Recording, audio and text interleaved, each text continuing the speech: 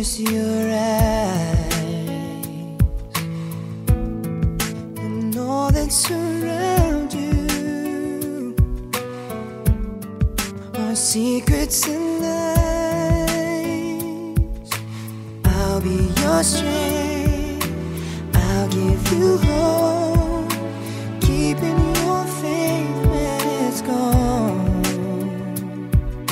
The one you should call was standing there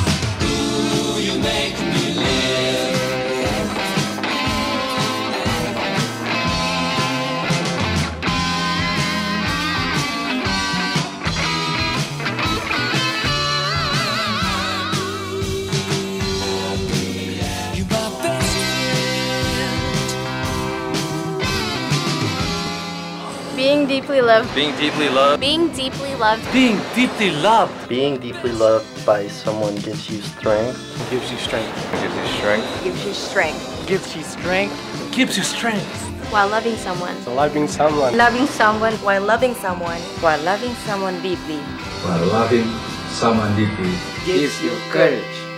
Lao Tzu. I was reading through some of them, and I remember um, this conversation that we had when we first met. Um, Jerome said something to the effect of, you know, I can't wait. Um, I oh, no, he said, I hope we're we'll be together for a long time. And then I asked him, well, how long? How long is you know a long time? He said, well, until you're you're at Ocampo, and that was a long time ago, I know. But um, I, when I was reading my notes, I remember um, him saying that, and his little quote was, "I can't wait." That's his. I can't wait, meaning I can't wait until you're you're at Ocampo. So that's one of the things that I remembered.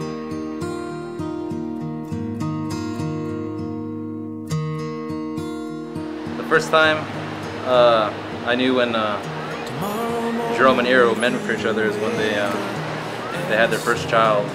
His name was uh, Bogi. And then they had their second, Ganda, and then uh, their last, Rocky. I will be here.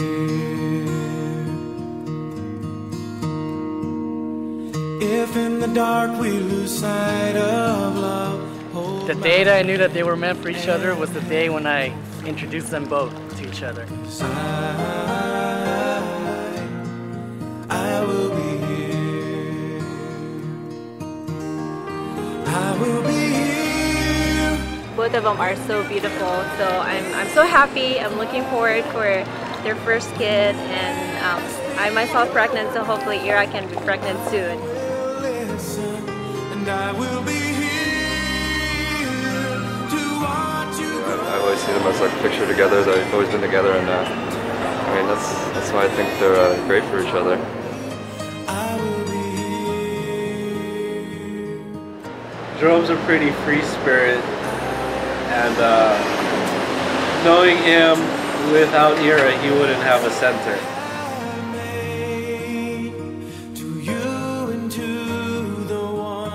Why are they good together? The way that they love each other is just you could you could just see.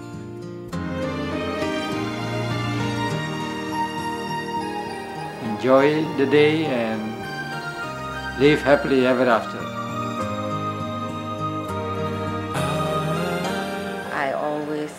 Want to advise them to, as they take their steps in this uh, new chapter of life, to always in, include God in every step that they make. I, I learned a lot from her and I appreciate like uh, the stuff that she kind of showed me in life and uh, just a lot, a lot of good things she showed me.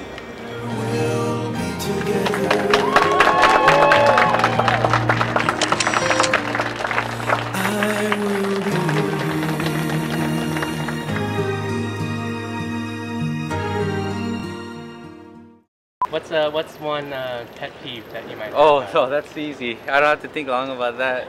She doesn't like looking at my feet, so I like, I can't like expose my feet around the house because she's always looking at my feet. I just don't like feet, so it's not like his feet are really, really gross. I just don't like feet. Definitely, she doesn't like like how my toes overlap over my big toe.